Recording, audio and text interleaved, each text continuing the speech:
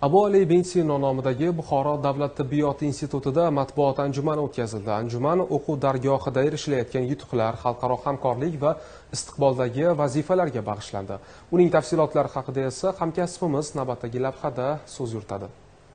Ommaviy axborot vositalari vakillari jurnalist va blogerlar uchun tashkil qilingan matbuot anjumani oliy tibbiy ta'lim tizimidagi islohotlar ulardan kelib chiqadigan ustuvor vazifalar ijrosiga bag'ishlandi. Unda so'zga chiqqanlar zamonaviy infrastrukturaga ega oliygohning yangi binosida yaratilgan shart sharoitlar qolaversa davlatimiz tomonidan bu borada yaratilayotgan keng ko'lamli imkoniyatlarga alohida to'xtalib o'tdilar. Umumiy maydoni o'n gektarni tashkil qilgan ta'lim muassasasi hududida talabalarning ilm olishlari va bo'sh vaqtlarini mazmunli o'tkazishlari uchun barcha qulayliklar yaratilgan. Ma'lumot o'rnida aytadigan bo'lsak hozirda institutda sakkiz ming besh yuz nafarga yaqin o'zbekistonlik ikki ming nafarga yaqin chet ellik talabalar tahsil olishmoqda.